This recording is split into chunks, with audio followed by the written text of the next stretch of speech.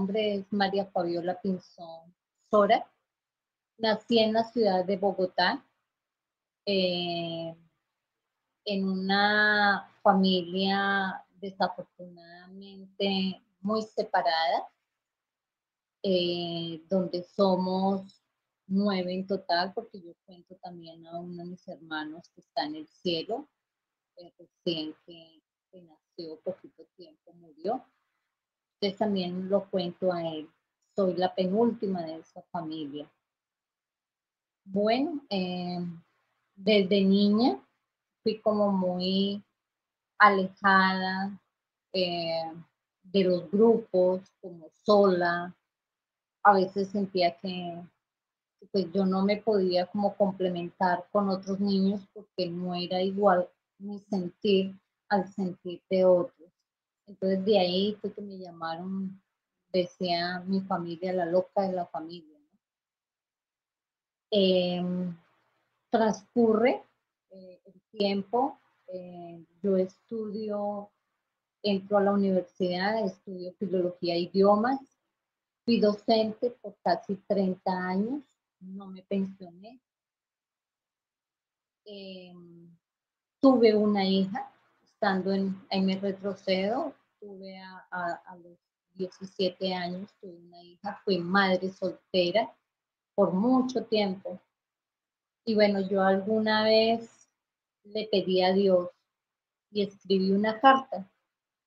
Y yo le decía, Padre, yo quiero un esposo que, que sea amoroso, que respete y quiera a mi hija y a su descendencia, que económicamente sea estable, que me respete, que me ame, que me quiera.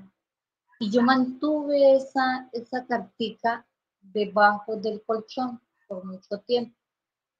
En mi familia decían que yo nunca me iba a casar, que eso nunca, nunca, nunca, nunca iba a suceder. Eh, que por mi carácter, por mi forma de ser, quién se me iba a, pues, acercar. Sucede y pasa que yo dentro de esa carta también escribí que cuando mi hija estuviera grande, porque el temor mío era colocarle, eh, digámoslo entre comillas, un papá y que pues fuera a usar de mi hija, eso no, pasó así. Bueno, estando yo ya graduada, estando yo ya en la universidad, eh, haciendo también otra especialización que tenía que ver con traducción, yo ya trabajaba en un colegio donde ganaba algo mejor. Y cada vez que salía a coger transporte, en ese transporte venía un señor y siempre me ayudaba a colocarme para que yo no me fuera a caer del bus. Esto pasó así, pasó, pasó, pasó, hasta que comenzamos a hablar. Resultamos antes de yo empezar mi trabajo en el colegio, él me invitaba a desayunar pues nos fuimos conociendo, nos fuimos conociendo, fuimos saliendo, ¿sí? Y empezó una relación.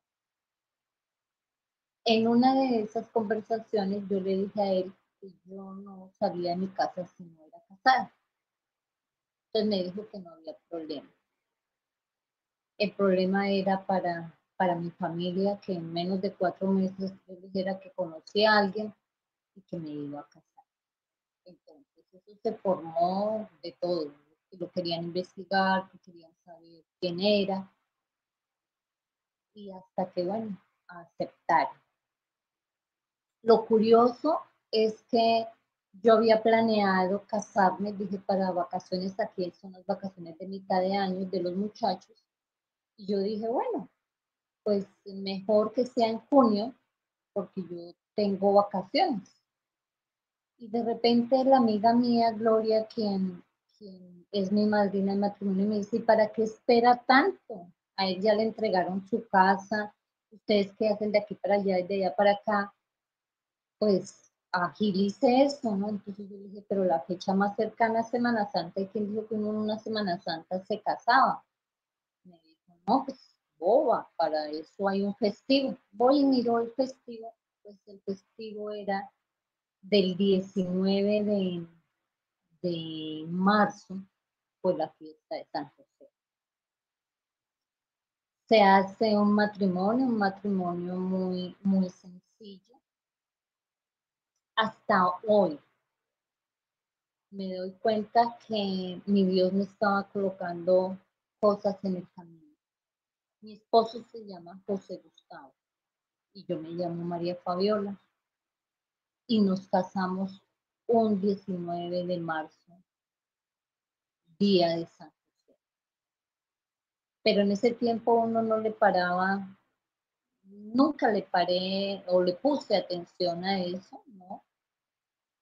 Ahora sí, de tantas cosas que ustedes van a conocer ahorita, se van a dar cuenta como yo de por qué las cosas suceden porque suceden. Bueno, mi caso. Em, yo traía eh, eh, ciertas cosas que yo nunca las había contado y que sucedieron cuando, cuando yo no estaba casada. Eh, porque no las quería comentar. No todo el mundo creía. Pero acá me devuelvo un poco.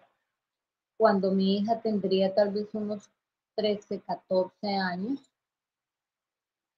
y yo tenía 33 años, en mi familia, mi hermana, la mayor, conoció, ella es abogada, conoció en su caso a una familia y un integrante de esa familia eh, trabajaba con cartas ¿sí?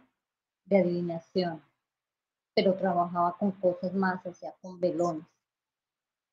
Este muchacho o este señor se enamora de mí y yo no sabía que estaba enamorado de mí. Y alguna vez que me intentó decir algo, yo le dije, le dije, no, yo jamás me voy a, voy a conseguir una persona bruja como usted y menos caleño. Acá en Colombia hay un departamento y su capital es Cali. Entonces, no sé por qué le dije así, porque me caían mal los caleños en este momento. No, sabría decirle, yo contesté así. Sucede y aparece que un día que yo estaba trabajando en el colegio, me llama mi señora madre y me dice, imagínese que aquí estuvo Franz.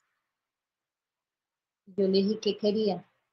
Dijo, no, que nosotros no nos va bien porque acá tenemos brujería, porque nos hicieron, nos estamos haciendo unos baños, necesito que usted se venga, necesito que usted se bañe con esas aguas que él dejó. Cuando yo llego a mi casa, mi casa estaba totalmente llena de agua y de arena. Y entro a mi cuarto y estaba igual. Mi mamá me dio el agua para bañarme y yo la boté. Gracias a Dios yo digo que yo la boté. Pero en mi cuarto había, yo sentía algo pesado y no sabía qué. Pasaron ocho días. Ese muchacho fue un lunes y al siguiente final de semana era puente y yo había llegado el domingo, el lunes normal para acostarme, para el otro día ir al colegio. Cuando yo me acuesto, no llevaba cinco minutos cuando yo siento algo que se me, que me, se me metió al pecho y me cimbró y yo quedé temblando, temblando y yo grité, mamá, auxilio, mamá, me estoy muriendo. Yo quedé, es decir, sentí como si yo me estuviera yendo, yendo, yendo, yendo. Entonces yo le dije, mamá, lléveme a un médico, lléveme a un médico, lléveme a una clínica. Y al primer centro que encontramos esa noche abierto, ingresé. Me toman los exámenes perfectos, perfectos. O sea, todo salía normal, entonces me dijeron que era una crisis de ansiedad y me empezaron a dar ansiolíticos. Ahí comenzó parte de, de, eso tan horrible que no se lo deseo a nadie. Sucede y pasa que yo seguí, yo le decía como unas convulsiones. Mi, mi cuerpo temblaba, temblaba, temblaba. Fui a médico, lo mismo, que tenía crisis de ansiedad, que crisis de ansiedad, que crisis de ansiedad. Entonces mi madre tenía una amiga. Ella yo creo que ya, ya haber partido, la señora Carmen. Dijo, vaya a ver que ella era una señora que ella no leía nada. Simplemente con mirarlo uno a los ojos, pues le decía, y yo vine allá. Me dijo, yo no la puedo ayudar. No la puedo ayudar, Fabiola, porque, porque no tengo esa capacidad. Yo le voy a dar el nombre de otra persona a ver si la puede ayudar. Cuidan de esa señora. Y esa señora me dijo, ¿ustedes qué fue lo que hicieron? Ustedes dejaron entrar al demonio a su casa. Porque eso lo hizo en venganza suya. ¿Usted qué fue lo que hizo? ¿Qué fue lo que lo dejó? yo en ese momento no recordaba lo que yo le había dicho a él tiempo atrás. Dijo, miren, tiene que conseguir agua bendita, eh, tiene que conseguir un exorcista, yo aquí lo que la puedo limpiar. Limpiar era que cogía hierbas y me limpiaba y me limpiaba y me limpiaba. Y, y me dijo, tiene que tener mucha paciencia yo seguía convulsionando más, más. Y yo tenía que ir a trabajar. La verdad, siempre lo he dicho. Quien iba a trabajar por mí no era yo. Porque yo no sabía, eh, es decir, yo era como un ente, era como un zombie, y yo no sé quién daba clase por mí. En el colegio, el rector y todos empezaron a murmurar porque yo empecé a adelgazar, a adelgazar, a adelgazar hasta que era flaquita, flaquita, flaquita. En esas, el señor que se llamaba, acá se llama cooperativa, es donde venden papas, gaseosa, y él era el que le vendía a los estudiantes. Él me dice, profesora, venga para acá rara, la veo extraña. Entonces yo le dije, no yo Yo tengo un médico alternativo que le puede ayudar. Camino. Esta tarde yo la llevo hasta allá. Entonces él pasó por fin y yo conocí, él se llama el doctor César Trujillo. Entonces yo, mis manos sudaban, sudaban la planta de los pies sudaban y sudaban y yo todo era así. O sea, el sistema nervioso estaba disparado. Bueno, comencé a tomarme medicamento de él, pero a la misma vez iba donde la señora de las limpiezas. Y la señora me dice, eh, me dijo a mi mamá, miren, tiene que conseguir un médico. Ahora, ese médico no puede ser traicionado tiene que saber de medicina alternativa para que la pueda a ella ya tienen que arreglar el sistema nervioso, tienen que nutrirla, ya tiene que estar muy, muy, muy débil. Tiene que darle muchos frijoles, muchas lentejas. Ella de aquí en adelante se tiene que alimentar muy bien. Estando en esas, en una cita con el doctor César y me dijo, ¿cómo vas? Cuéntame qué has sentido. Entonces, a mí me estaba pasando algo y yo no lo decía porque yo decía, me estoy enloqueciendo.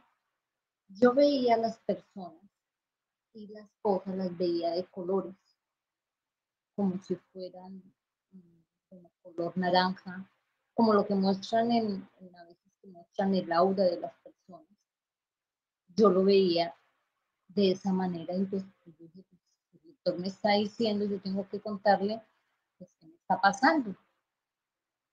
Le cuento. y en ese momento no me creen. Me escucha, mas no me creen. Y me dice, espera un momento.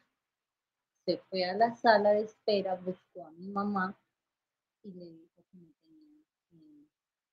llevar a psiquiatra y que lo más probable era que me internaran. Yo los vi a ellos hablar. Mi mamá en ese momento no me dijo nada de esto que estoy contando. Eh, ella me dice, mija, vayamos. Se va a poner el suero, se va a tomar eso, me tiene que prometer que me va a recibir el alimento si no, yo no la vuelvo a llevar a ningún lado. Entonces, yo trataba de comer porque yo era a devolver la, comida. Eh, mi mamá me decía que me tranquilizara, que por el bien mío me tranquilizara. Pero sucede una noche que me dio una crisis fuerte, fuerte, fuerte. Yo le dije a mi mamá, no puedo más. Yo agarré la Biblia y comencé a orar, a orar, a orar, a orar y arrepentirme de todo. Yo le decía, Padre Santo, perdóname si yo he sido mala hija, he sido mala madre, perdóname, pero deme una oportunidad.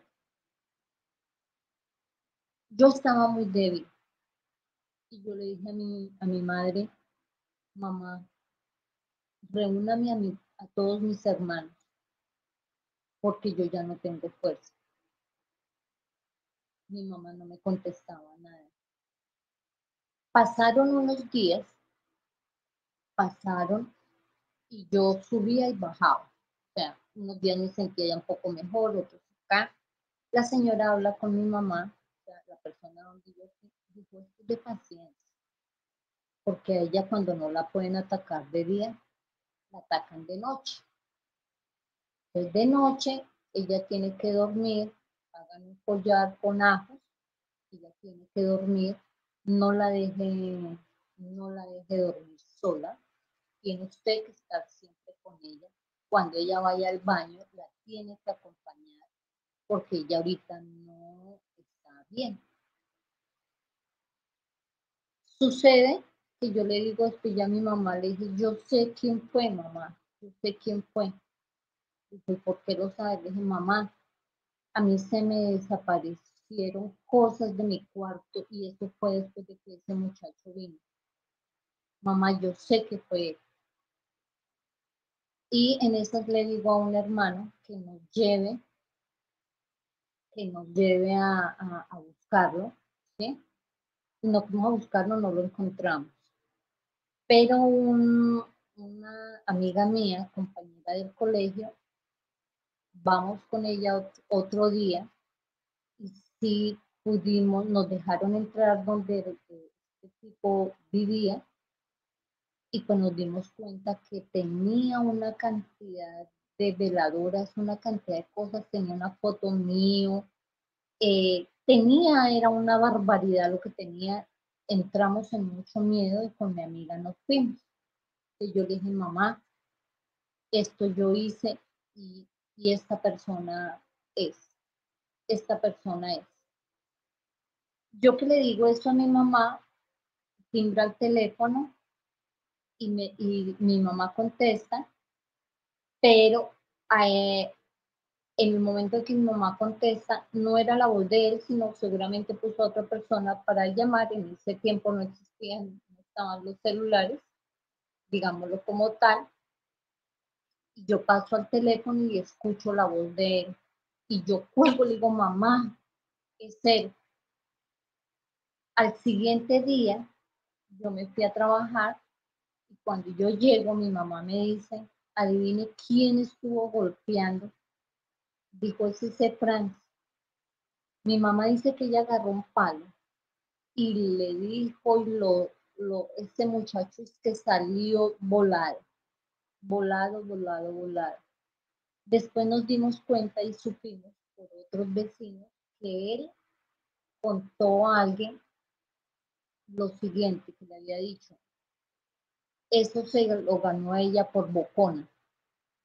Acá bocona es decir algo para él. Me imagino que lo que más lo ofendió fue esos meses atrás donde yo le dije que yo con un brujo jamás y se desquitó de esa manera. Para no hacerlo más largo esa parte, eh, duré mucho en recuperación, mucho, mucho, mucho, mucho, duré más de un año para volver a subir algo de peso, para estabilizarme. Y en ese momento salgo, salgo adelante de eso. Eso fue antes de casarme, a los 33, porque yo me casé a los 37. Y, y bueno, ya estando casada, em, mi madre, la relación con ella antes de casada no, fue no era muy bonita. Eh, yo siempre decía que era que seguramente no era hija de mi mamá, hasta que un día me atrevo a hablar con ella a solas. Y le dije, madre, yo necesito hablar con su merced, necesito saber qué es lo que, qué es lo que pasa. Y ella me dijo, ¿qué pasa de qué, mija? Le dije, mamá, ¿podemos cerrar el cuarto? Y me dijo, sí, cerré el cuarto, eché y me arrodillé. le dije, mamá, es que yo tengo algo acá que quiero decirle, es un dolor muy grande. Yo siento que, no me quiere, porque usted ha sido fuerte conmigo, o sea, mi mamá de pequeña me pegaba muy duro, duro, me cogía las moñas que me hacían, me daba contra la pared cuando hacía algo, eh, decía cosas, entonces yo le dije, mamá, pues yo le pido perdón si en algo la he ofendido. Si yo no he sido, yo no la he respetado, mamá, eh, perdónenme. Mi mamá se le salen las lágrimas a mí también y me dijo, perdóneme usted a mí por haberla tratado mal. Pero yo la amo mucho y la amo más que a su hermana. No, eso fue algo tan bonito, tan bonito nos abrazamos y empecé yo a sentir un descanso acá. A partir de ahí ya paseábamos eh, con mi esposo, con ella y con mi hermano. Y bueno, hoy precisamente estoy un poquito tocada. Tocada es como acá en Colombia se dice cuando uno tiene un sentimiento porque hoy que estoy acá, dando, comenzando a dar un testimonio de vida, eh, la fecha no la escogí así. Eh, pienso que salió, salió sin pensar qué fecha. Pero mi madre está de aniversario, es el sexto año de su partida. Ella fallece el 19 de septiembre. El 19 me persigue. San José bendito. Eh, fallece ella o sea, durante todo su lapso de enfermedad. Yo estuve pegada a ella, de, hecho fui muy pegada, pero estuve muy consagrada a ella. Eh, y se hizo todo a su, a su voluntad en lo que ella alcanzó a hablar me dio muy duro. Muy, muy, muy, muy, muy fuerte. Es algo que, que yo no podía separar, superar, perdón. En las conversaciones con mi esposo, yo le dije que, que, nos fuéramos, que nos fuéramos de Bogotá, que no había caso, o sea, yo ya no, no estaba mi madre, que nos fuéramos. Estábamos pensando en eso cuando mi hija, mi hija tiene una empresa de café y la empresa la tiene acá en el Huila, donde estoy ahora, que ahorita les daré el por qué estoy yo aquí en el Huila. Y me da también la noticia que ella se viene del todo acá porque ya no puede estar yendo a Bogotá y viniéndose para acá. Y que se trae a mi nieto, obviamente. Ahí fue otro, porque a mi nieto lo amo mucho. Y yo le decía a mi esposo, sea mi mamá, si llevan el niño. Entonces mi esposo me mandaba por unos tiempitos acá en Huila para que yo viera al niño y me quedara y, como que volviera otra vez como relajada. Eh, iba a exámenes médicos y entonces me decían que tenía ansiedad, que por la tiroides. Eh, mi esposo me dice, pues que es ahorita una temporada más larga acá en el Huila. Eso fue unos como unos dos meses antes de la pandemia. Sucede la pandemia y me quedo acá.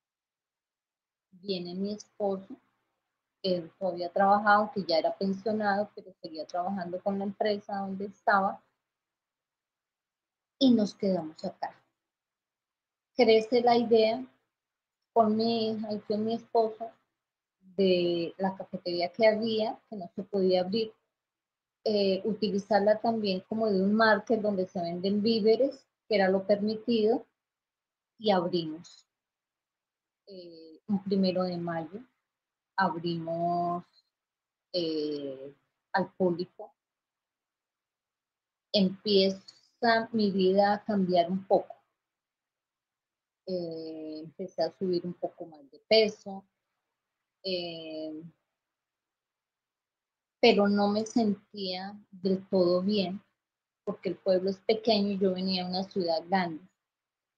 Yo escuchaba mucho a la gente decir, y a un padre un día, que era un pueblo muy pesado, que era muy complicado, que habían voladoras. Yo decía, ¿voladoras en qué sentido? No, que, que es un pueblo muy maldadoso, que hace cosas, bueno, pero como yo estaba en mi cuento, yo la pandemia acá no la sentí. Yo no la sentí. Porque acá la gente salía normal, eh, sí, obviamente con sus tapabocas, unos más, pero yo me metí en la cabeza que de pandemia no. De hecho, gracias a Dios, ninguno nos enfermó de los que estábamos acá. mi hija, mi esposo, mi nieto, eh, mi yerno, la mamá de mi yerno, gracias a Dios, en ningún momento nos enfermamos. Bueno, como mi hija eh, tiene la empresa de café y la cafetería antes era en sociedad con las dos, decidimos que la sociedad se rompía, la de la cafetería, y, la empecé a manejar yo sola.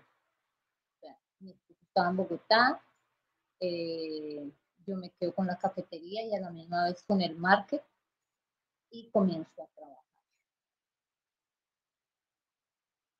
Como a los dos años se viene ya mi esposo de todo para acá comenzamos también a, trabajar los dos. Pasó así, pasó, eh, digamos, todo entre lo normal, entre comillas. Comillas, digámoslo así, eh, en mi salud con altibajos, que la tiroides. Siempre me decía el médico que era la tiroides, la tiroides. Pero yo empecé a adelgazar. ya estoy hablando de hace dos años. A adelgazar más. Pero yo no sabía el por qué. Yo dije, bueno, debe ser la. La tiroides. Mi esposo me da, me regala un viaje eh, a, Cartagena el 23 de agosto del año pasado. Nos fuimos, nos fuimos al viaje, regresamos, yo estoy cerca de Neiva, Neiva es la capital del departamento del Huila y yo no vivo en la, en la ciudad, sino yo vivo como a una hora y algo de Neiva en un pueblo que se llama Teruel. Estando yo, eso fue un domingo, eh, no habían clientes, me siento y me dio por tomarme una aromática. Entonces yo la hice de flor de Jamaica. Me la estaba tomando cuando yo siento un golpetazo en el pecho y quedo como en esa, en ese entonces de lo que les acabo de contar y se me baja todo, todo, todo. Todo era todo. Y yo grito y le digo a mi esposo, llámese al doctor, llámese al doctor. Acá en el pueblo hay un médico del hospital y él hace consultas privadas. Viene él, me dice que los signos están bien, que no tengo de por qué preocuparme, que es un ataque de ansiedad. Que lo que pasa es que eso ya debe tratarse con psiquiatría. Dijo, no, es que usted tiene unos cuadros de ansiedad muy altos. Entonces yo le dije a mi esposo, ¿qué psiquiatría? Ni que nada. Bueno, yo creía, me comí el cuento que me dijo el doctor que la aromática de flor de Jamaica me había producido todo eso. Entonces yo me metí en mi cabeza y dije, sí, eso fue así, la, la, aromática de flor de Jamaica.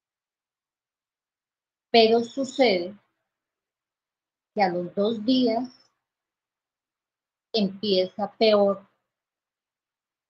Estaba de repente estando haciendo cualquier cosa y de repente me daba eso al pecho y volvía y quedaba temblando, temblando, temblando y temblando. Entonces, en el sitio que tenemos nosotros, la cafetería, y donde trabajamos, se hizo como una cabañita en la parte de atrás para descansar. Yo iba y me recostaba. Mis labios se ponían eh, morados y era una sensación de irme. Cuando yo digo de irme, era que yo veía todo nubloso, nubloso y gris y gris y gris. yo dije, esto no es normal. Eh, yo tenía, siempre me he ido por la medicina alternativa. Entonces llamo a un doctor y le digo, doctor, ¿usted me puede dar cita porque es que yo estoy así, así, así, así, así. Y nos ponemos en, en videollamada y ella me dijo, mira, tu tiroides no está funcionando bien. Eso es un cuadro ansiolítico, son ataques de pánico, lo que te da.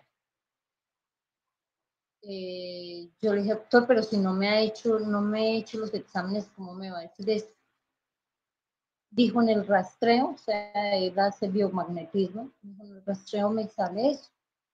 Yo dije, doctor, yo me voy a mandar a hacer los exámenes. ¿Usted me puede decir qué exámenes más hay de profundidad para hacerme?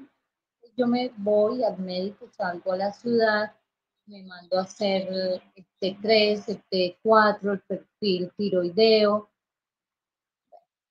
Salen normales. Normales yo volvía a convulsionar. O sea, estos ataques eran casi todos los días. No tenía fuerzas. No tenía fuerzas. Yo ya no podía ni trabajar. Ya no podía ni siquiera cocinar. Entonces, yo aquí en el pueblo tengo una, una amiga. Ella es joven, es como si fuera mi hija ella se llama Sandra y ella es jefe enfermera.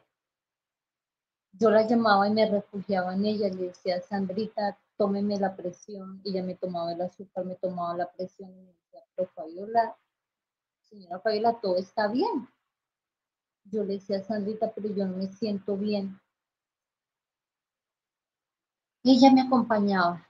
Y cada vez que me daban esos ataques, que eran, esos ataques en qué era, era unas oleadas donde era como si yo me fuera a ir así, yo veía todo lejos, lejos, lejos, y luego esto palpitaba, palpitaba, palpitaba, muchísimo, muchísimo.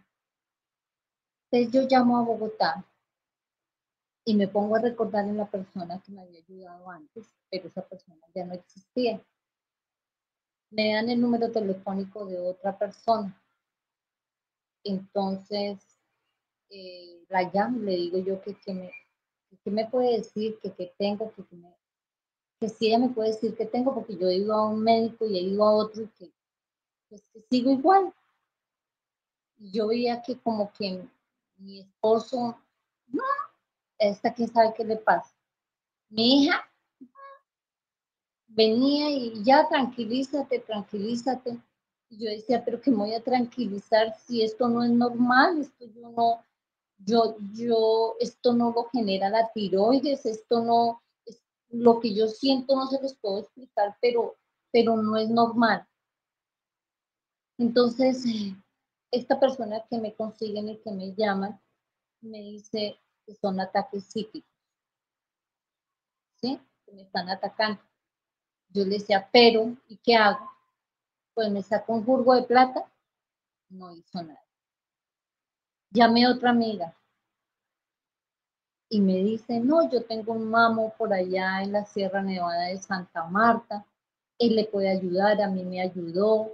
Bueno, sucede que yo llamo al tal mamo y me dice, sí, a usted la están deteriorando la salud, a usted es decir lo mismo del otro, que eran ataques sí. Consígneme no sé qué. Yo le consignaba y nada pasaba. Yo cada día peor, peor, peor. Sucede que yo vuelvo y llamo otra vez a este doctor. Le digo, doctor, pero es increíble, yo no puedo estar así, yo no puedo estar así yo qué voy a hacer, me dijo, no, trabajemos en la tiroides, yo necesito estabilizarla, yo necesito que usted se me tome estas vitaminas, estos medicamentos, la voy a purgar, la voy a, bueno, yo andaba como con unos 20 medicamentos que para la tiroides, que para desparasitarme, que um, hierro. Bueno, yo seguía y me seguía haciendo exámenes porque me decían que ahora los riñones. Entonces mi hija me, no creía en este médico y me dijo, mamá, pero ¿por qué no va al médico de la, eh, una prepagada que, que tenía, que tenemos? Yo saco cita, un señor ya de edad, y voy donde él.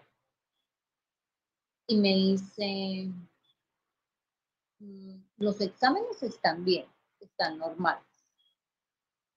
Y eso de estar delgada, pues rico. ¿Cuántas mujeres no vienen acá y, se quejan porque están gordas? Yo les decía, doctor, pero yo estoy muy delgada. Yo he sido delgada, pero no así delgada me decía tranquila, más bien que la lleven al mar. Yo hice caso de ir donde el médico eh, normal y me devuelvo. Pasan los días, la misma situación, las mismas crisis, ya eso se repetía y se repetía. Entonces, em, había un curso de naturopatía el médico es francés y él vive en Bogotá. Yo dije, pues voy a tomar ese curso a ver si en algo me sirve, desintoxicarme, aprender algo. Y en esos espacios con él, él daba un live en vivo y uno de estudiantes podía hacer una pregunta.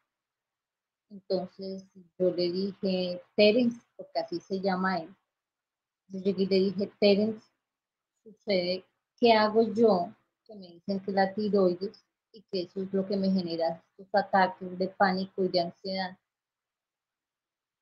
Él me dijo, Fabiola, espérate un momento. Lo tuyo no es de salud. Lo tuyo es espiritual. Yo le dije, pero ¿qué hago que no me creen? Me dijo, yo te puedo dar el contacto de alguien no conozco a nadie más, a ver en qué te ayuda. Era una amiga de él. Yo llamo, yo dije, aquí encontré la solución a mi problema. Al otro día llamo, agendo la cita porque eran citas eh, muy limitadas.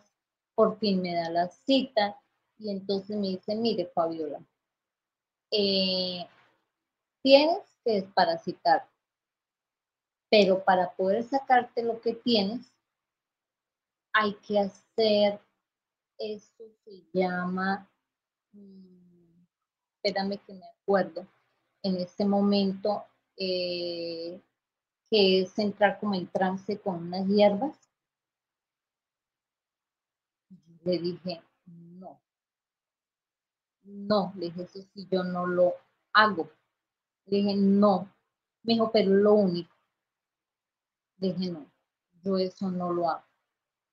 Entonces yo le escribí a Tenes y le dije, mira, es que ella me dice que es, esas hierbas, que lo que le dan, y yo sé que en, esas tomas de ya, yajé, ya me acuerdo, yajé, eso es muy fuerte, eso es muy duro, yo no voy a hacer eso. Me dijo, pero si ella le dijo que lo hiciera, yo dije, no Dije, esto no es. Le conté a mi esposo y me dijo, eso es un sacadero de plata, usted pague al uno, pague al otro. Pues figúrese que dentro de la herencia que me dijo mi madre, yo la tenía ahí. Entonces, yo al uno le pagaba acá, al otro le pagaba acá, al que me decían yo le pagaba, al otro yo le pagaba, y yo decía, Señor bendito, que mi mamá, mi mamá, pues, ella para algo me dio esta plata para sanarme. Decía yo en esos momentos que no sabía, la verdad, no sabía, esa no era yo. Esa no era yo. Bueno, pasa que yo dije, ¿y ahora qué hago? volví otra vez a llamar al doctor que me dio energético, que me decía que la tiroides. Dije, doctor, pero créame, aquí algo raro pasa conmigo, esto es de energía. Dijo, a ver, yo conozco a una señora, que ella es paciente mía, y a unas personas le ha funcionado. Llámelo. Llamo a esta señora, o sea, otra que ingresa dentro de la lista. Bueno, llamo y, le digo, mire, de parte del doctor Castillo, que esto, que me siento así, que no sé qué. Pues yo le son unas hierbas de la India y tiene que hacerse uno, hacer unos desaumerios. Dije, bueno, cuando 500 mil pesos. Yo pagué por un, por un paquetico así de pequeñito de hierbas 500 mil pesos, pero en ese momento era tan mal que yo estaba que yo decía, eso me va a salvar.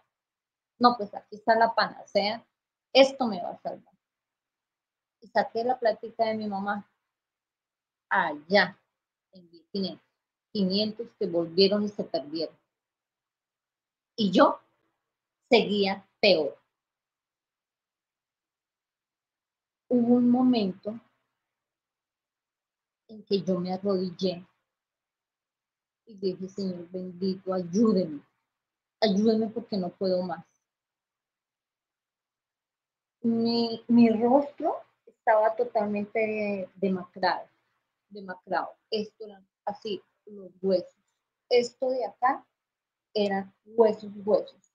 Lo que tengo ahora, que ya tengo, ya tengo algo de músculo, todo esto era, descolgaba, descolgaba ya la piel y se veía, era el hueso.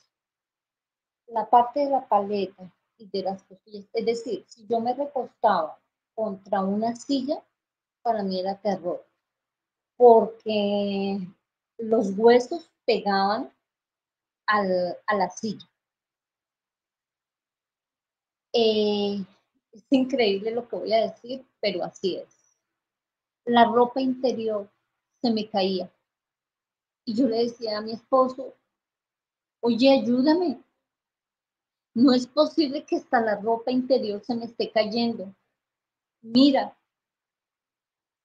Y lo que era aquí, el estómago, el estómago se estaba, yo lo asemejo como cuando salen esos documentales por allá en África, donde los huesitos, estos que están acá en, el estómago, no sé cómo se llaman, pero ellos eran pegados, pegados allá y esto era chupado. Cuando yo comía, yo comía, pero no es como ahora que uno, como cualquier persona que come, usted tiene, siente hambre, come y usted ya. Sentía un hueco, un hueco, sentía.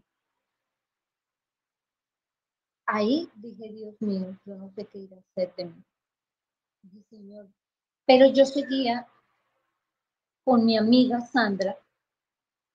Sandra, yo de, de, joven, yo le pedía a San Gregorio, que ahora ya está, ya el Papa ese gran honor de santo. Eh, yo quiero conseguir no, no sé cómo conseguir alguien que pueda trabajar, o sea, que me pueda ayudar con San Gregorio. Y empiezo esa búsqueda por ese lado. Y no encuentro nada. Ella incluso me dijo que cerca a un pueblo de donde ella, de donde ella es, desde la costa, que había una señora que, que curaba. Pero yo decía, no, eso está muy lejos, eso está muy lejos. Entonces, un X día, estando buscando y buscando en el celular a ver qué encuentro, encontré algo de códigos sagrados. Y estaban dando un en vivo y yo veo y dicen a la que estaban entrevistando, decían que trabajaba con San Gregorio y que era medium de San Gregorio. Yo anoté rapidito, rapidito, anoté y dije, aquí estaba mi sanación. Anoté, pedí la cita, tuvimos una cita así y ella me dijo, espérame a ver qué me dice el doctor. Me dice, tú tienes ataques psíquicos. ¿cierto? Dice, sí, es que a mí nadie me cree. Y me dijo, me dijo, mira, vas a colocar una petición así, vas a comenzar a hacer las novenas, nosotros hacemos las novenas, eh, cómprate el bultico, mándalo bendecir. Y bueno, yo hacía las novenas, hacía lo normal y yo seguía igual. Entonces yo a ella la describía por el interno y yo le decía, mira, si yo me siento así, me dan los ataques así, en este momento estoy terrible. La llamé en un momento de crisis, de crisis, y la llamé cuando me manda un audio y me dice, miren, yo no tengo tiempo, yo no tengo tiempo, yo tengo familia, yo es que la gente no cree que lo que yo hago, yo tengo un esposo, me, me da problemas y utilizaba unas palabras inadecuadas. Si ella trabaja con San Gregorio, ¿por qué utiliza ese lenguaje? ¿Y por qué me trata de esa manera tan brusca, yo creo que un servidor de Dios, pues no contesta así. Entonces yo dije, aquí hay algo que no está bien. Aquí no hay algo. Entonces, como en ese programa que salió de códigos sagrados, había una persona que, que decía que hacía códigos sagrados le escribí y me dijo, comienza con este listado de códigos sagrados. Mandé traer de como pareció un escapulario y yo así repetí, repetí, repetí, repetía, pero no había ningún efecto. Pues dentro de esos había una, había una persona que dirigía ese grupo de códigos sagrados y le marqué por el interno y le dije, mira, yo estoy en esta situación, no sé qué hacer. Y me dijo, mira, te voy a meter en el, códigos sagrados, vas a hacer los códigos, otras personas van a estar contigo y te van a ayudar. También, a ver, hay una integrante de códigos que ya vive en Venezuela y te puede ayudar. Le escribí a esa tal persona de Venezuela. Y me dijo, déjame tus nombres, déjame tu apellido y más tarde te comunicas conmigo. Así pasó, me comuniqué. Me dijo, mire mujer, usted tiene un trabajo así, así, así, así, así, así. Bueno, dije, ¿y qué debo de hacer? Me dijo, mm, yo lo único que puedo reventar es eso. Me pidió por unos velones. Pero yo sé, igual, igual, igual. O sea, igualito igualito. Yo le decía, pero ¿por qué yo, yo sigo igual? Ella me dice lo siguiente, me dijo, Fabiola, usted lo tiene acá. Sí, usted no está bien. Yo creo que usted consiga ser un psicólogo, consiga a alguien que le ayude, ¿por qué no? Pero si usted quiere, me dice así, hay otra forma de ayudarla. Y le dije, ¿cuál?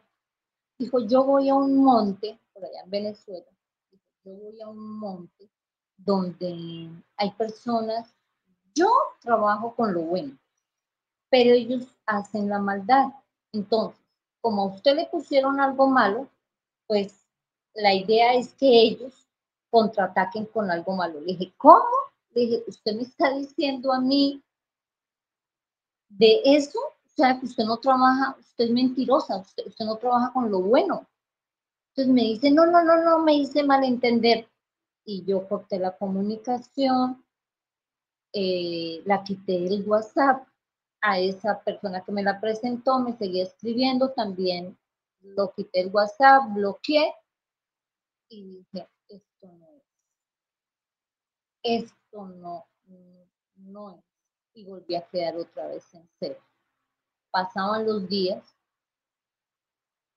mi peso estaba en 41.20. Eh, fui otra vez al médico, me dieron un tarro así de grande de vitaminas y el médico me dijo, usted va a subir, se va a dar cuenta, pese ahorita cuando inicie y cuando termine. Pues al mes determinado yo ya no pesaba 41.20, sino ya iba en 39.70. ¿Qué hacía? Llorar y llamar a mi amiga. Sandrita, ayúdeme. Ella antes decía, busquemos ayuda, busquemos ayuda. En esa búsqueda de, de, de ayuda aparecen unos testimonios de muchísima gente donde es una señora que ella trabaja la salud. Yo dije, para de Dios, dicen que es difícil sacar una cita con ella. Logro sacar la cita. Después de tanta travesía, saqué la cita, viajo para Bogotá, que vaya de blanco, que toque unas especificaciones a una hora, tal. Voy yo, ella me hace, ella me hace acostar en la, camilla. Eh, ella dice que eh, la sanación de ellas con las manos, eh, el don que le ha dado Dios con las manos. Y ella empieza a, eh, ella unta como un aceite y lo pasa por el cuerpo. Y me dice, mire mujer, ¿hay algo en el estómago? No, es lo único que yo puedo ver pero yo soy sincera. Frente a la salud, yo le ayudo todo lo que usted. Todo, todo, todo. Pero usted necesita una liberación. Sea por un padre exorcista, sea por otra persona. Pero usted necesita una liberación. Porque lo que usted trae no es cualquier cosa. Y llega y me usted huele a muerto. Cuando yo viajé a Bogotá, yo me quedé donde mi hermano. Mi hermana me decía, ¿qué le pasa? Porque está tan verde, verde, verde. Y yo no contaba nada. Yo le decía, no, es un problema estomacal, es un problema estomacal y por eso es que yo vengo a Bogotá.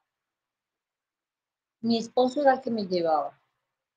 Ni siquiera podía decirle a mi hija, porque mi hija ni creía, ni, o sea, esto que me pasaba era como llamar la atención, como es que mi mamá o Fabiola quiere llamar la atención.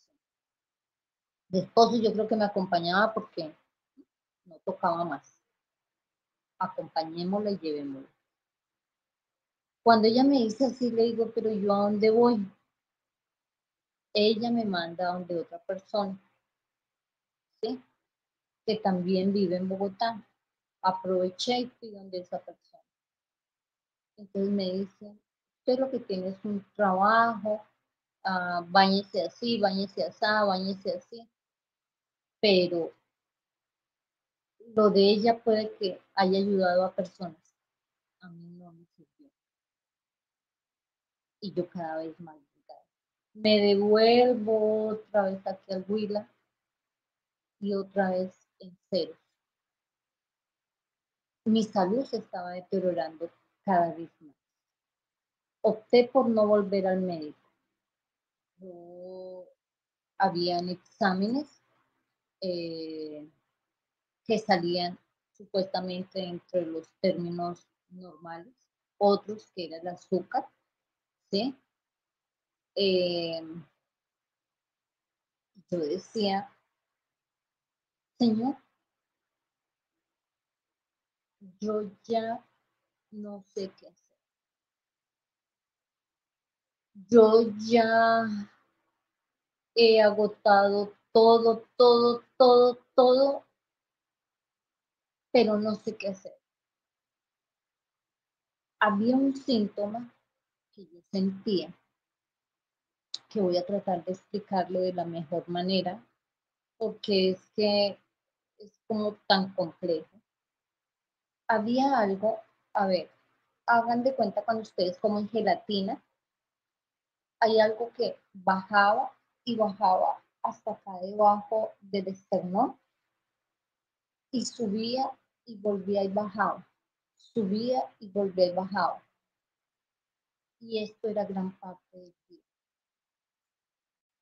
yo dije, se me está saliendo, algo se me movió, se me desprendió de mi cuerpo. O sea, era una sensación tan horrible, porque cada vez que eso bajaba y subía, bajaba y subía, yo me sentía que volvía y como que me iba. Mi mirada estaba muy perdida, ya estaba muy perdida. Eh, al devolverme, yo llamo a la señora, o sea, a, la que me había palpado y que me dijo que ella manejaba la salud que no podía hacer nada más. Yo la llamo y por fin me, o sea, ella por WhatsApp le escribo y me dice, mujer, yo no, yo ya vuelvo y le digo, si usted no busca o un padre o alguien que le ayude, muy difícil. Yo lo, que la puedo atender es para, para, que, para que les saque otra vez otra cita con la señora que donde la mandé a ver cómo la ve de nuevo. Pues ella estaba en Ibagué, entonces yo dije de Ibagué a, a, Bogotá, pues me queda más cerca Ibagué. Ibagué es otro, otra ciudad, es un departamento, se llama Tolima y queda pegado aquí al Huila. Entonces yo dije, no, pues a mí me queda más cerca ir a Ibagué. Yo dije, pero ¿qué hago? Yo no quiero ir sola. Llamo a una amiga que ya se llama Nora y le dije, Norita, ¿usted me acompañaría a Ibagué? Dijo, ¿y en dónde nos quedamos? Le dije, pues buscamos un hotel cómodo, que no salga tan costoso, y, y vamos a ir. Entonces le digo yo, me dice ella, denme un momento, que voy a hacer una llamada. Ella llamó a una amiga que, vive en, en Ibagué y le habla y le dice que va a ir a Ibagué, pero que va con una amiga. Entonces esta amiga le dice, bueno, pues bienvenida. Si su amiga es, no es así, fifi, fifi quiere decir eh, acá es que sea de un estrato alto y que no le gusta acomodarse. Entonces le dijo, no, no, no, no, no. Eh, ella es muy sencilla. Eh, así acordamos, al otro día viajábamos. Sucede que yo cojo la camioneta, de aquí salir a la ciudad es una hora, y en el trayecto empiezo yo a temblar, a temblar. Una tembladera, y yo decía, Señor Dios mío, bendito, si yo tengo que viajar con ella, ¿cómo voy a poder manejar, Señor? Señor, ayúdeme mis labios eran resecos, ahorita los tengo porque estoy hablando. Pero yo tomaba lo que fuera a tomar y mis labios seguían resecos. La llamo yo a ella, la recojo y en efecto fueron tres horas y media manejando. Pero créanme, yo no sabía quién manejaba. Yo vuelvo y lo repito, la que manejaba no era yo. Yo siempre lo he dicho. Ahí estuvo mi padre conmigo porque, porque eh, yo con todo esto que estoy contando, van a decir cómo va a coger un carro y va a, va a manejar. Bueno, llego yo allá, me presenta, le llevo un detalle a la señora. Estábamos comiendo, estábamos en la mesa del comedor cuando eh, Disney se llama ella, que es la que es amiga de Nora, mi amiga, a la casa del cual nos dio hospedaje. Y me dice Disney, ¿y cuál es la cita la que va mañana? pues, es alguien que, trabaja con Los Ángeles, que problema. Yo la veo, discúlpeme, pero yo la veo mal. Tiene una tristeza, tiene como una agonía, discúlpeme. Dijo, pues yo de creer en quien creo es San, Gregorio. Dije, ay, de verdad, usted sí cree en San Gregorio. Dije, yo también. Dijo, miren, ella me da su testimonio. Ella me dijo, miren, yo tuve unas masas en el seno y yo fui operada por él. Él me operó y yo tengo los exámenes, eh, los de antes, después, yo puedo dar testimonio, a mí me operó. Dije, ay, dije, ¿y usted será que usted me puede ayudar con el contacto? La señora dijo, pues espere, escribimos. Escribió y la señora le contestó y le dijo, dijo que ella escriba desde su celular para que yo la, pero es al siguiente día. Bueno, al siguiente día yo estaba escribiendo y miren lo que pasa. Cada vez que yo escribía, yo cogía y escribía buenas, buenos días, soy, mi nombre es María Fabiola. Cuando yo escribía buenos días se borraba. Yo decía, por favor, necesito una consulta. Lo del por favor y necesito no entiendo, se desapareció. Entonces yo, yo mandaba, le mandaba a ella y ella al recibir ni, eh, ni aparecía el buenos días ni el por favor. Y ella me escribió lo siguiente, me dijo, mire, yo no atiendo personas groseras. Yo no, yo no atiendo personas groseras, uno cuando llama o escribe a algún lugar dice buenos días, soy, le mandé entonces un audio. Le dije, mire, no tengo buena señal, no tengo buena señal de caridad, yo no soy así, muy buenos días, yo escribí, dije, por favor, créame, créame que yo no soy una persona grosera. Ella me dijo, bueno, me dijo, eh, escriba su fecha de nacimiento, mándeme una foto, la foto tiene que ser de ahorita, no de ayer, tómela y el hermano la va a revisar. Pues, yo todavía estaba en la ciudad de Ibagué y yo le dije a mi amiga, no nos vayamos hasta que recibamos a ver qué es lo que me van a decir. En efecto, como a la hora y media, eh, mandan el audio, mandan el audio y dice lo siguiente, el audio. Dice, eh, mire, señora Fabiola, el hermano lo que le ha visto a usted es que a usted no le, a usted nada de lo que ha ido, nada de lo que le ha hecho le ha servido. Y así usted vaya a los mejores médicos, siga gastando su plata, vaya, usted tiene un maleficio y a usted la enfrascaron decía lo del maleficio lo entiendo, pero lo enfrascaron no entendía. Dijo, eh, a usted hay que, a usted hay que sacarle primero eso que le hicieron en su estómago. Y ahí entraría el hermano a operarla porque siempre hay daño. Y por eso usted no sube de peso.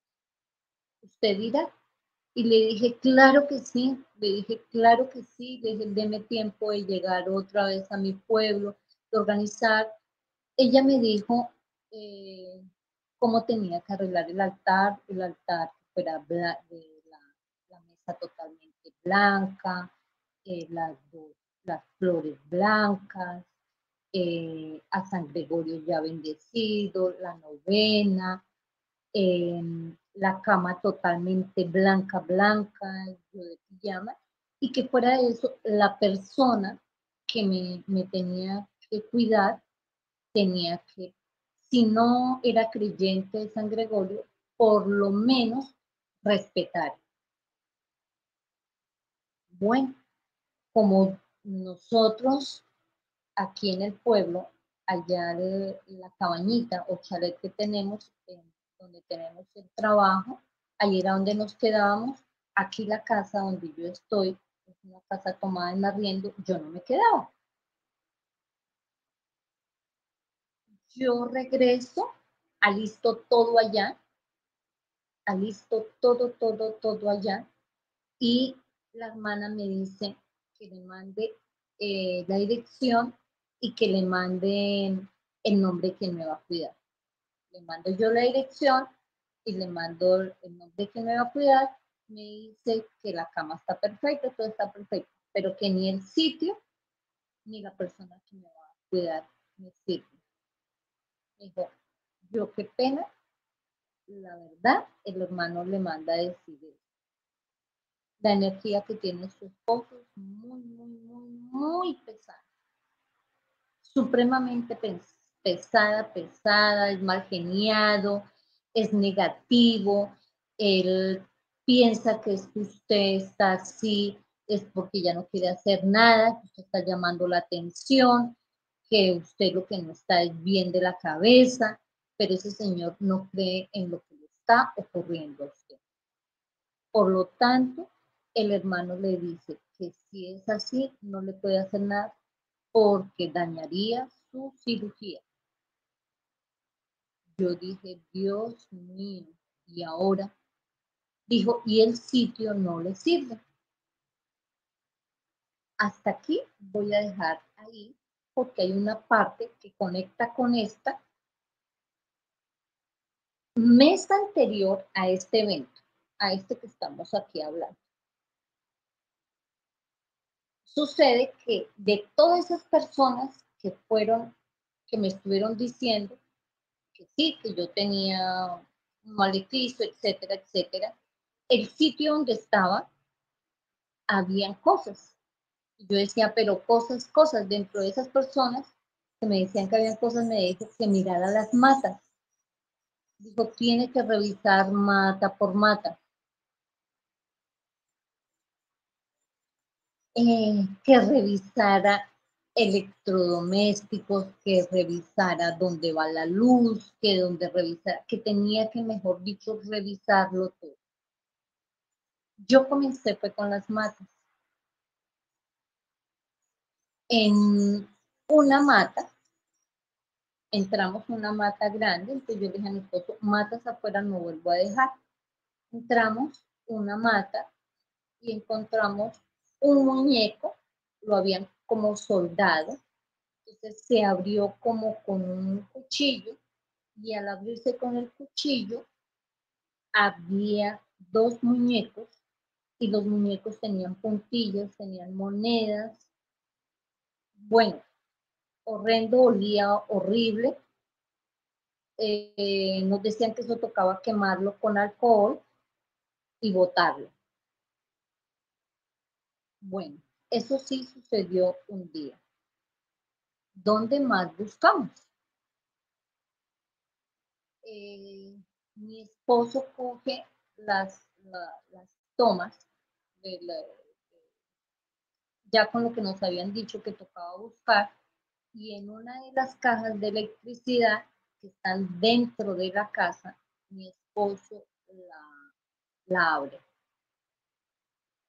y encontró, estaba en papel aluminio, ese papel aluminio que se coge para, para guardar alimentos, tenía una cinta de, de esas cintas de sus colores moradas, se abre y ahí había una muñeca, una muñeca así de pequeñita y estaba llena de agujas, agujas, agujas, agujas, agujas.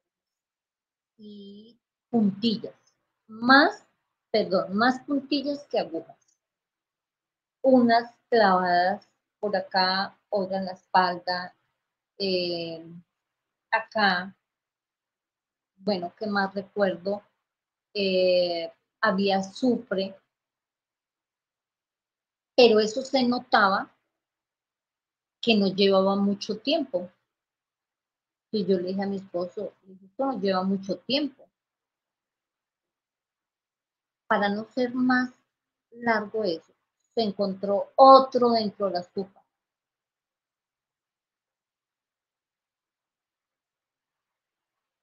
Y yo le decía a mi esposo, ¿Quién puso esto son personas de las que han trabajado para nosotros, de las personas que han venido a hacer aseo. No hay más. Esto no, no, no. Esto no apareció porque así. Yo le decía, de las personas que de Bogotá nos están diciendo que busquen, no vinieron de noche a ponerlo. Yo le decía, esto es absurdo, aunque parezca absurdo, aunque estemos viviendo y viendo lo que estamos viendo, pero es absurdo pero está pasando. Listo, eh, mandé, conseguí un padre exorcista, vino y a él sí le conté, él sí creyó, me dijo la maldad existe, vamos a hacer una misa, me va a tener todo limpio, se hizo la misa, me dijo cómo utilizar el agua exorcizada a diferencia del agua bendita, eh, me dijo su arma va a ser el agua bendita. Dijo, necesito que coloque una imagen acá. Y bueno, volvemos a regresar a la preparación del día de la, prepararme para la cirugía. Llamo yo a Sandrita. Sandrita para mí en este proceso ha sido el apoyo acá en la tierra más grande del mundo. A esa niña le debo, con su humildad, le debo muchísimo, muchísimo, muchísimo. Em, yo le digo a ella, Sandrita, ¿será que usted me puede cuidar? Porque la cirugía va a ser una cirugía igual que terrenal, los mismos cuidados, yo no me puedo parar, me tiene que sumarse a alcanzarme los alimentos, eh, para bañarme, eh, es decir, debo de estar en cama y tal como me lo están diciendo. Me dijo, bueno, sí señora. Le dije, ¿y aquí no va a ser? va a ser en la casa. Me vengo yo aquí a la casa, a la que tenía abandonada, que no venía a quedarme, y coloco en el cuarto, coloco todo, como me dijeron, sábanas blancas, el acolchado blanco, almohadas, todo, todo, todo. Fui y me compré mi pijama blanca, todo, todo lo utilicé, todo. Ese día, que fue un día martes, ¿sí? Ah, bueno, yo tenía que ah, tener la, oración de San Miguel Arcángel, tenía que hacer la de, la de empezar el, novenario con San Gregorio, ¿sí? Eh, todo eso al pie de la letra. A las ocho y media ya tenía que estar acostada. Ocho y media. Eh, me apuesto a las ocho y media y vuelvo y recuerdo las indicaciones. Que a las nueve me iban a limpiar lo que me habían hecho y que a las 10 de la noche eh, entraba el doctor José Gregorio a operar. Cuando ya me estaba cogiendo el sueño, lo que yo sentí es que en mis pies, digamos que estos son mis pies, yo sentí esto así. Como si me los hubieran acariciado y me, no me lo dijeron. Pero lo que yo sentí es como me han dicho tranquilo. Quedo yo dormida, al otro día yo me despierto y yo me sentía adolorida. Yo iba a ser así, iba a ser así, y yo me sentía totalmente adolorida. Entonces voy con cuidado al baño, ya viene mi, la niña, viene Sandra, me trae el desayuno, tenía que tomar cosas muy ligeras, igual, igual, igual. Y en esta parte del estómago yo sentía, yo sentía igual, o sea, yo digo igual porque yo fui operada de una hernia umbilical y fui operada del tabique. Yo me acuerdo de esas operaciones donde uno queda con desaliento, queda tal y cual. Entonces empiezo yo a seguir las indicaciones, todo el cuidado, la alimentación. No debía usar celular, sino únicamente en una emergencia para llamarla a ella. digamos que ella es el instrumento el doctor José Gregorio, con el que pasa y las informaciones y lo que le dice a uno. Ella siempre ha dicho, no, yo, yo ni opero, ni leo cartas, ni nada de eso. Yo tan solo soy un instrumento que le sirvo a él. Bueno, entonces pasaron los, como el cuarto día. Eh, me dijo, ¿ya le ha pasado a dejar medicina? Sí. En el, en el alcohol, el alcohol que yo le coloco al doctor José Gregorio, él, yo coloco el alcohol y él se vuelve blanquito, blanquito, blanquito y en el fondo como una pastillita. Yo lo, a partir de ahí, yo lo, lo coloco en otra vasijita y ese utilizo para colocarme en cualquier parte que necesite. Desde ahí comencé a colocarlo más y me lo deja blanquito. Entonces me dijo, miren, el doctor le manda a decir que hasta el momento va bien, pero se tiene que cuidar, no hacer esfuerzos y él le va, a dar de alta.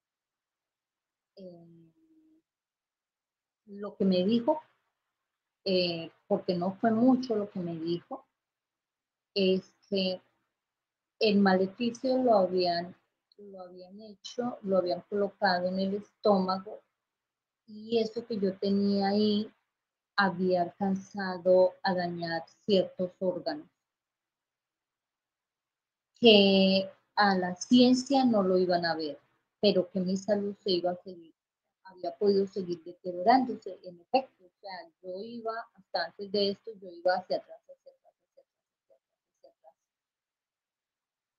Mm, dijo, y un enfrascado. Yo le dije, hermana, ¿y qué quiere decir un enfrascado? Entonces dijo, es como, como cuando la, la, hubiesen echado en alcohol, como si la, la hubiesen para secarla. No me acuerdo por la palabra que utilizó. El enfrascado fue para secarla, secarla y secarla. Y para que usted tuviera bastante sufrimiento. Pasa el octavo día y ya me dan de alta y que tengo que seguir con, los cuidados. Entonces me dijo, mire, el sitio donde trabaja, mándelo limpiar bien, cambie cosas, quite cosas, para que usted como que cuando llegue usted se sienta como diferente, porque usted tiene, o sea, todo lo que le ha pasado, le ha pasado ahí, y para que usted no recuerde. Bueno, sucede que había quedado un pendiente que habían dicho que en la planta donde yo trabajo, donde yo puesto café, eh, faltaba limpiar y faltaba un algo ahí. Bueno, hay un hueco entre una pared, digámoslo así, voy a señalar allá, había un hueco y ese hueco se limpia, se desborona, se quita todo, todo, todo, todo lo de ahí y cae una cosita como así y tenía un hilo negro.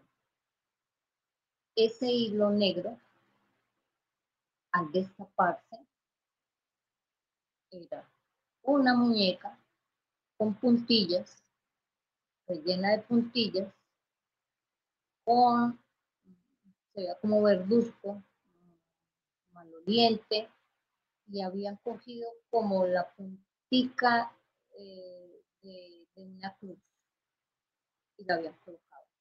Eso ven, es, llamamos otra vez al padre, eh, limpie, eh, bote.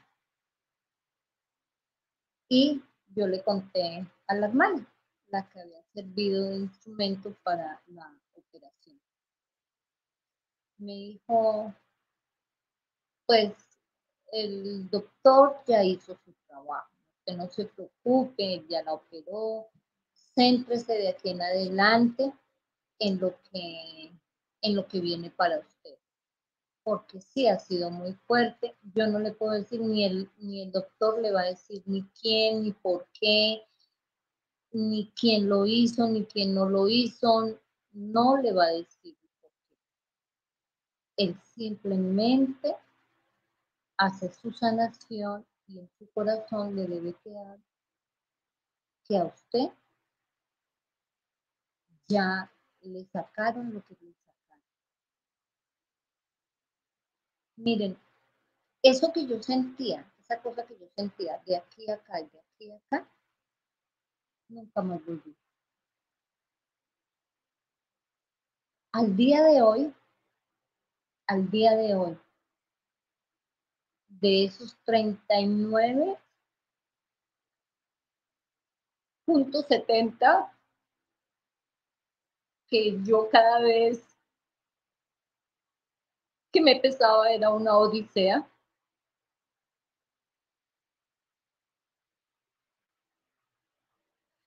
Y ver cómo después yo comía mi alimento, cómo, cómo iba engordando, cómo iba subiendo de peso. donde no volvieron ataques. Yo hoy pienso que si no hubiera sido por San Gregorio y por primero por mi Dios que lo permitió, no estaría acá. Porque cuando yo estuve tan mal, yo me soñaba todas las noches con mi mamá y mi papá, mi mamá y mi papá y, personas que ya habían fallecido. Y yo decía, ¿por qué me tengo que soñar con ellos? ¿Qué pasa? ¿Qué sucede?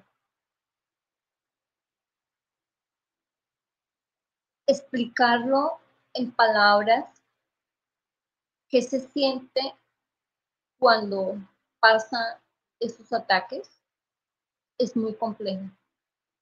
Porque por lo menos si a ti te duele la, la garganta, uno dice, bueno, mi dolor es así, siento carraspera, eso se puede explicar. Y uno dice, listo, tomo un antibiótico y me pasa.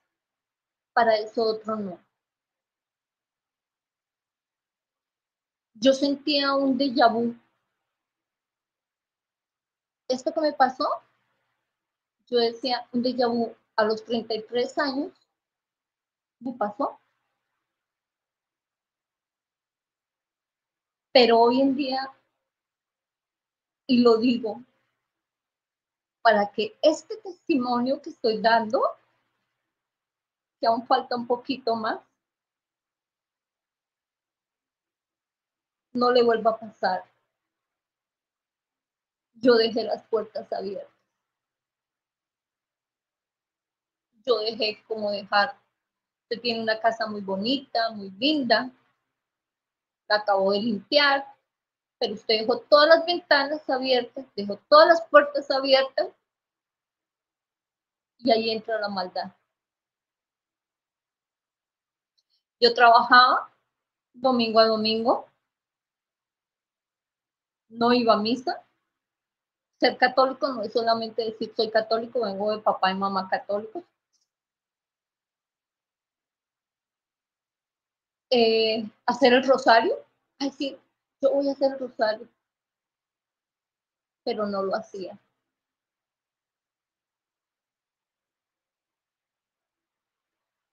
Eh, sentir esto y haber pasado por esto, de una repetición, hay algo que me sucedió durante todo este proceso, yo no sé por qué veía el 111. Cuando yo estaba tostando, volteaba y miraba la máquina, 111. Eh, salía a comprar algo y, cuando veía las placas de un carro 111, yo decía, ¿por qué 111? En, eh, eh, entendí en la homilía del domingo pasado, el padre decía, eh, el uno es la unidad, pero habló del Salmo también 111. Y entendí en el Salmo lo que, yo incluso por aquí lo saqué, que era lo que entendía de ese salmo. Dice, si no conozco a Dios como mi fuente de sabiduría, mi base para tomar decisiones sabias es inestable y tendría y tendré tendencia a cometer errores y a tomar decisiones insensatas que no darán resultado para alabar al Señor.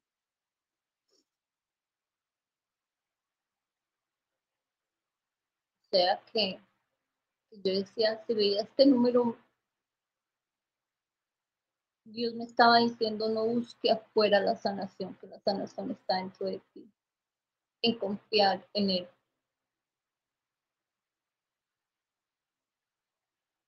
Pasa algo, pasa algo que, que quizás después de esta operación yo quedé con muchas sintomatologías. Y yo le decía a la hermana, me dijo, eh, señora Fabiola, lo que le hicieron a usted fue, no fue hace poquito, venía de hace mucho tiempo y fue así, así, así.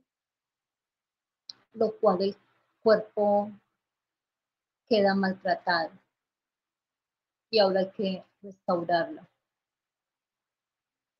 Vamos a comenzar con sus huesos. Mis huesos estaban muy frágiles. Me estaban doliendo mucho. Increíble, pero si coger el teléfono me costaba. Y todo esto lo pasé callada. No me quejaba.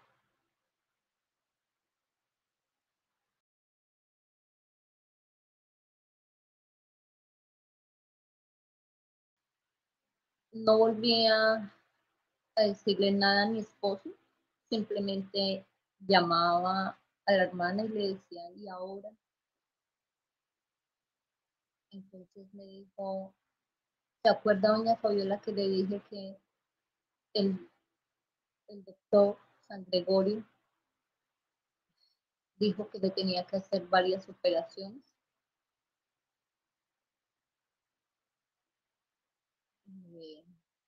Viene una que va a sus huesos. Me preparé para la segunda operación. Me preparé. Esta vez Sandrita no me pudo, no me pudo acompañar, me tocó pedir por otra señora. Eh, y viene muy, algo muy bonito en esta operación. Uno cree que porque no ve sangre, que porque no está viendo cómo maneja, entonces no hay operación. Eso es lo que los demás creen. Y yo decía, Señor bendito, eh, es muy complejo pedirle a la persona que lo cuide a uno, que, que por favor no me haga hablar porque me canso. Sucede que que bueno, ella me cuida. Estando como en el, esta vez la tuve que guardar reposo 10 días. En el octavo día, obviamente yo le dije a mi hija, voy así, voy a estar incomunicada. Aunque sé que no cree, eh, lo único que dijo es, sí puedo ir a verla. Ya en ese octavo día que ella viene, ya me podía yo parar, salí a la sala, vino mi, nieto, pero yo veía a una hija, mi mamá como que, como que son como shocks que hace, ¿sabes? Lo que se percibe en ella, ¿no? Y entré en una tristeza. Miren, yo veía a mi nieto porque cuando yo estuve tan mal, mi herramienta fue mi nieto. El valor me lo dio él. Yo decía, yo lo quiero ver crecer. Eh, pero los veía como tan lejos, como tan apartados. Y yo callada. Pero me entró una cosa acá, una tristeza, como cuando se le muere a uno a alguien. Y ese sábado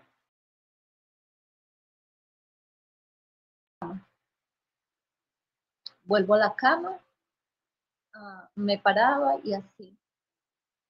Y estando sentada en el borde de la cama, estando sentada en el borde de la cama, con esa tristeza, con ese, era, era un, una agonía. decía, ¿cómo poder explicarle a otra persona lo que estoy haciendo? Y yo decía, me ponía a pensar en todo lo que me había pasado. Pero yo lo que quería era encontrar en, en mi hija en poderle contar, en que pudiera compartir, pero eso no lo encuentro en ella. Ni lo encontré en ese momento. Pero era algo que yo quería que hubiese pasado. Estando con ese dolor así, con ese dolor, cuando de repente Sí, miren, la comparación es esta. como cuando usted, yo me imagino que un dolor de muela fuerte, fuerte, fuerte, y de repente ya eh, le calman con anestesia o, le sacan, o, y usted, ay, siente ese alivio. Yo sentí por dentro algo que me pasó así, pero era tan hermoso, tan hermoso así, así, así, así, así, así. Fue un baño. Y cuando yo me doy cuenta, mis brazos tenían escarcha. Mi cabeza tenía escarcha. Y yo miraba en el techo y yo decía, ¿de dónde cayó esa escarcha? ¿De dónde? Yo decía, volteo a mirar y el espacio donde yo estaba sentada estaba lleno de escarcha. Y yo dije, la Virgen,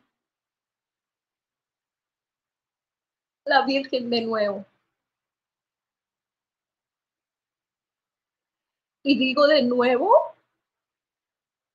porque le pido perdón por no haberme dado cuenta que ella siempre ha estado conmigo. Cuando yo tuve a mi hija, cuando yo quedé embarazada en último año de bachillerato de mi hija, o era muy niña, una niña con otra niña. Yo iba a los controles. Claro, allá habían señoras, pues ya señoras. Es más, yo me acuerdo que todo el mundo me miraba porque pues, una niña y embarazada no es como ahora, que si una, una persona de 16 años que embarazada es normal, incluso quedan menos, entonces, pero para ese tiempo no. Y yo me acuerdo que yo me iba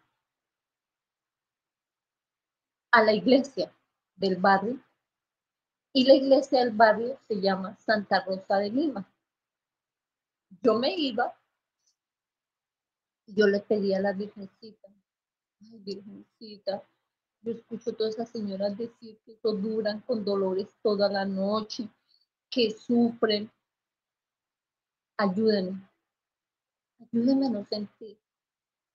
Y es más, yo no sé qué es un dolor de parto, ni qué. Porque cuando yo tuve a mi hija, todo sucedió en media hora. Llego yo a la clínica casi no alcanzan ni a vestirse el, médico y yo sentí fue como una gelatinita que salió y calientica y nada más. Yo no sufrí de dolor. Y hoy, contando esto, y en estos días, yo digo, qué más milagro, qué más Fabiola, Esto es un milagro. Que uno lo cuenta a otra persona, así ah, normal, a mí.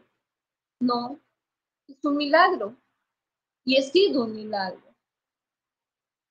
Y seguramente seguiré siendo un milagro de la vida, un milagro de Dios. Cuando entro a la segunda operación con el José Gregorio, con San Gregorio. Yo quedé con muchos dolores en las articulaciones. Eh, eso pasó los, primeros de agosto. Y yo no sabía, mi esposo me da la sorpresa de irnos a San Andrés para mis cumpleaños. Y yo decía, pero, estoy adolorida, estoy así. Hasta me llegué a preocupar. Entonces, bueno, hacemos el viaje. Yo llamo a la hermana de nuevo y le digo que a mí me duele muchísimo, o sea, la cintura. Y miren lo que uno de ser humano llega a pensar. Yo decía, no, el doctor no me operó, ahora yo qué voy a hacer, yo que eh, esto yo quedé como mal, yo quedé así, entonces llamo y, le digo, me dicen, no, doña Fabiola, haga una cosa, métase al mar, métase, usted tiene, está inflamada, porque usted, la operación no fue sencilla, fue a los huesos, usted tenía sus huesos muy débiles, se hizo, hizo limpieza de ligamentos, se hizo muchas cosas. Eh, cálmese, métase al mar.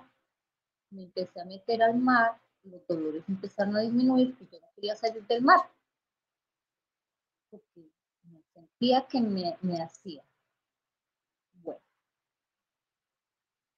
El 23 de agosto me sucede, como es el día de Santa Rosa de Lima, eh, yo busco una iglesia, lo primero que hice fue buscar una iglesia en San Andrés y me quedaba a media cuadra del hotel. Eh, busco al padre y le digo que necesito una confesión. Eh, le confieso y dije, padre, quiero mandar decir las misas de mi papá y mi mamá y mi esposo quiere la de los papás de él por eso yo quiero, pues, que usted es tan amable, una oracióncita para mí, para mis cumpleaños. Y me dijo, sí. Pues fuimos a la mesa. Y qué regalo tan bonito que recibí la Virgen. Porque eh, estando en la homilía, paso, me hacen pasar al frente. El Padre me bendice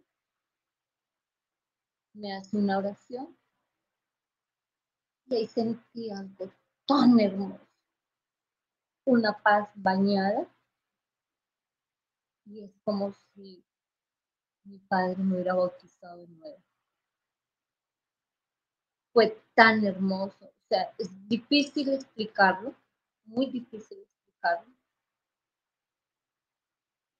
Y, y algo muy chistoso el hotel donde nos quedamos se llama Hotel 111. Yo digo, Padre, Hijo y Espíritu Santo.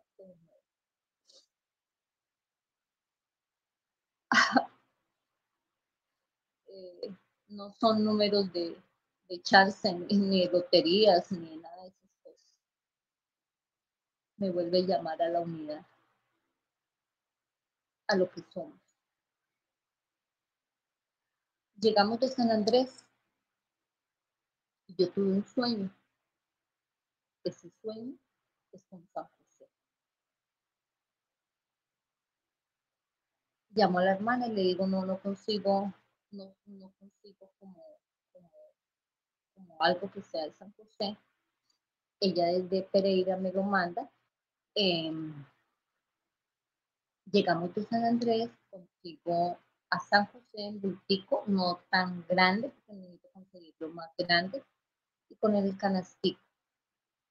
Empiezo a hacer la treintena. No soy experta en esto, me ha tocado coger internet, Google. Y en, la, en el canastico, en este canastico, yo le pido a San José que esos dolores tan fuertes que yo tenía en las articulaciones por la operación que me ayudaran. Que yo a hacer que no pueda coger una escoba para barrer. Y decía, por favor, restaurame. Restaurame. Y también le pido que me restaure mi hogar. Porque mi esposo Eh, como que no cree en nada no me acompañaba a, orar. Y antes de terminar la treintena, ya no he vuelto a tener dolores. Y estando en la treintena, eh, mi esposo un día me dio la sorpresa que se había ido a, cuando yo estaba en cama, se había ido a la homilía. Entonces yo le dije, gordo, así como lo llamo, dije, gordo, estamos alejados de Dios. Comenzamos a ir a, a misa, vamos todos los domingos, y ahí sí abrimos el negocio después de que de la homilía. Estamos haciendo el Santo Rosario, los dos. Él me ayudó a hacer la treintena. Que no somos ahorita el, el matrimonio, es mi vida, mi... Mm, no. Estamos. Estamos en un cambio, porque no es solamente de allá para acá, es de aquí para allá. Yo le he pedido a San José y a la Virgencita, ayúdenme a restaurar mi matrimonio y mi familia, pero guíame y perdóname. Este testimonio, miren, cuando estuve tan mal, cartas, el astrólogo, el curandero, eh, alguna vez, ah, en la primera vez que me pasó, tomé yagé. Y ese no es el camino. Ese no es el camino.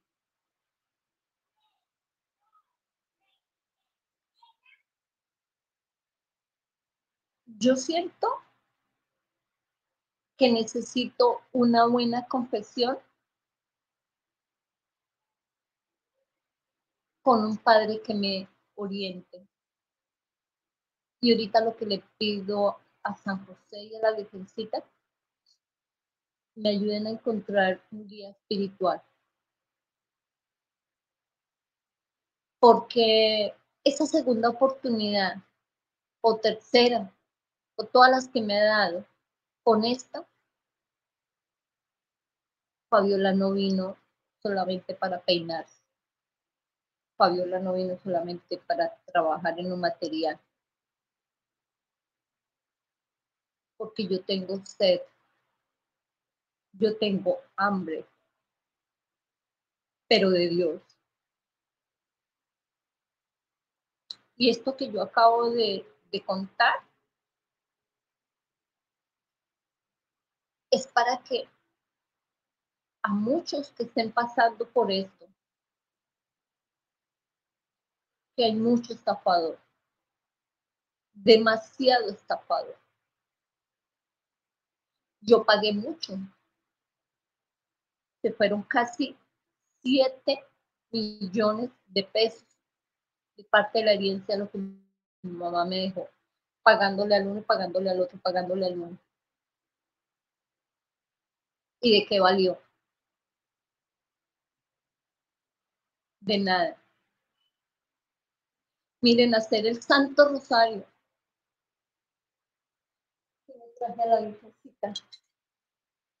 Yo le digo a ella, enséñame a hacerlo bien, porque estoy aprendiendo.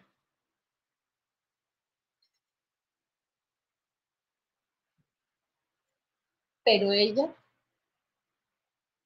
ella no te cobra. Ella no te dice, no tengo tiempo para ti. Ella no saca excusas. Uno es el que dice, ahorita no hago el rosario porque es que estoy ocupado. Dejémoslo más tardecito, dejémoslo mañana.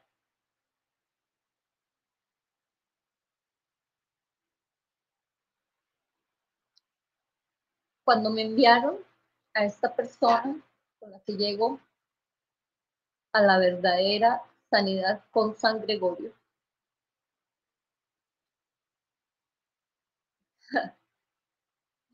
Es que es irrisorio el precio. Claro, es una señora que, pero no fueron sino 30 mil pesos. El euro en cuanto está en 4.600, digamos 4 por 3, son como 3 euros, digamos.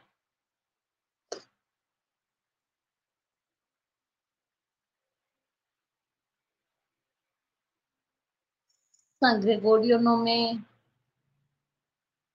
Yo digo el verdadero San Gregorio. Cuando yo digo el verdadero es porque hay muchísimas, miren, muchísimas personas a las que yo toqué la puerta y que decían, entre comillas,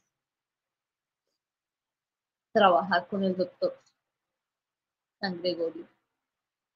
Y no hacen sin utilizar el nombre de él para cobrar. Mire, yo le, antes de hacer este, este testimonio, yo llamé a la hermana y le dije, me dijo, bueno, doña Fabiola, pero no, no me vaya a, dijo al doctor, no le gustan estas cosas, ni entrevistas, ni nada, porque yo no, a él no le gusta y yo no la voy a dar. No, su merced. Yo no, no es que vaya a publicar y a decirles, mire, llámense Natal, no. Pero el testimonio va con el único objetivo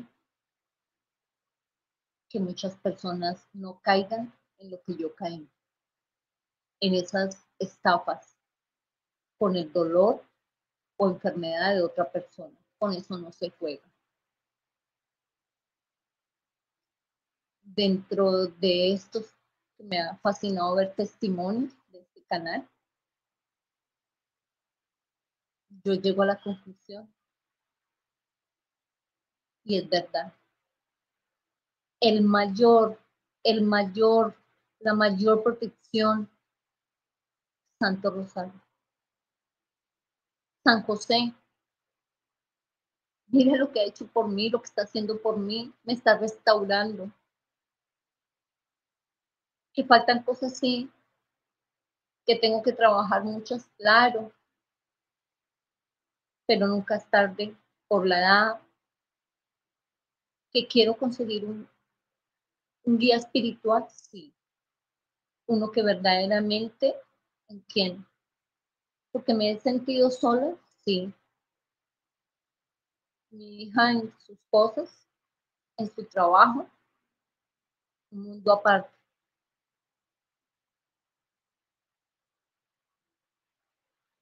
Pero cuando me he sentido sola y hago el rosario, esa soledad se va. Ese dolor se va. Miren todo lo que pasé.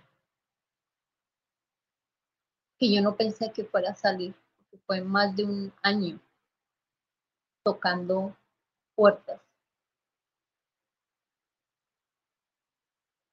Y a San Gregorio, quien ya el Papa lo santificó. Muchas gracias. Los amo. Y a mi virgencita. Y a nuestro Señor les doy gracias. Pero también les digo que me perdonen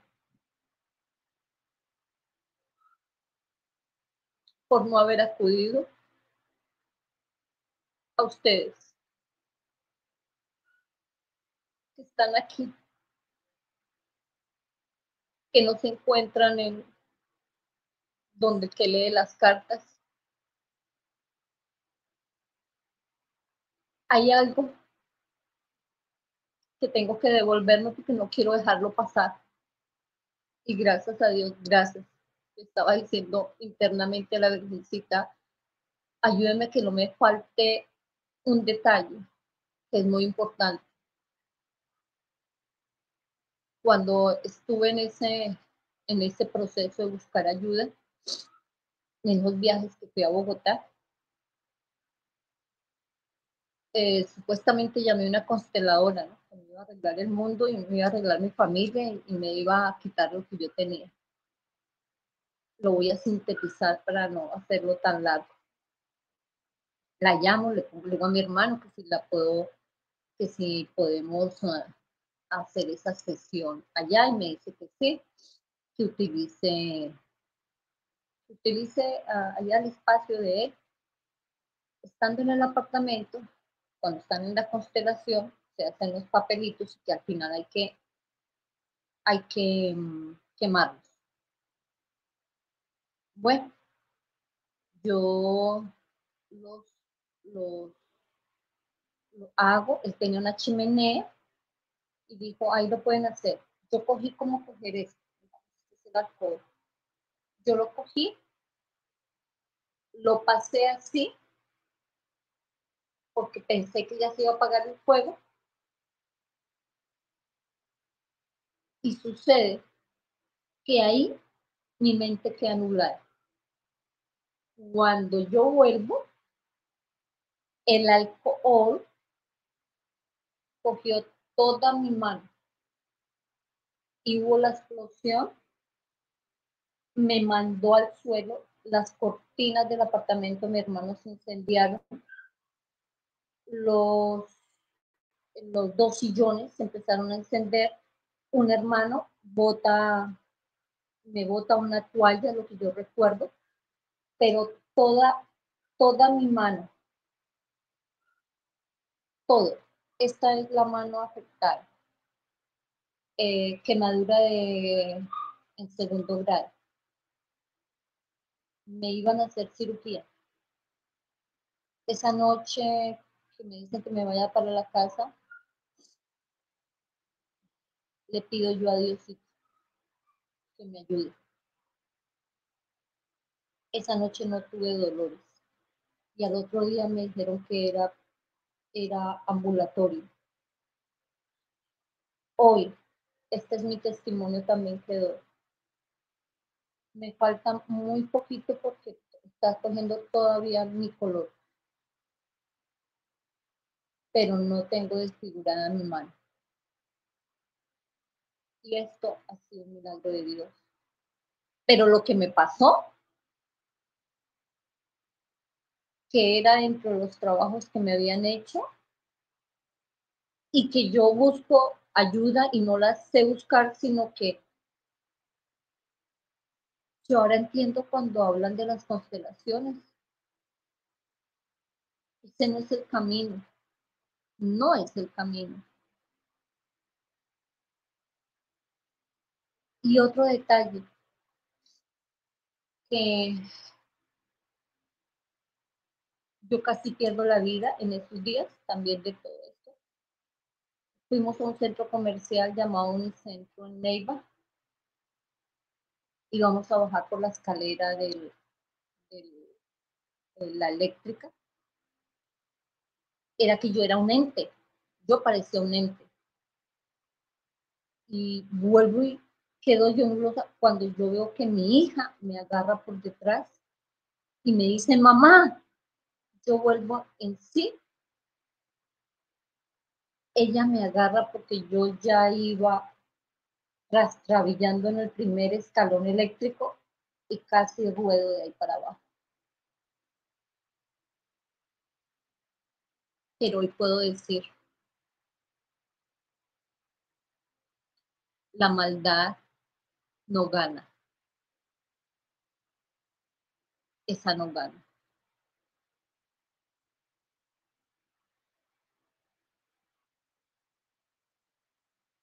La oscuridad no puede. Pero vuelvo y repito, hay que saber pedir ayuda y a quién ayuda. Y no volver a dejar nunca más la casa vacía.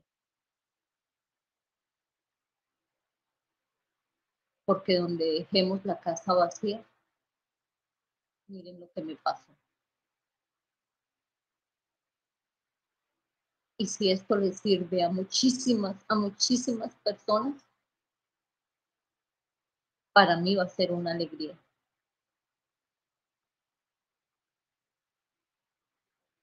Mil millones de gracias por haberme escuchado.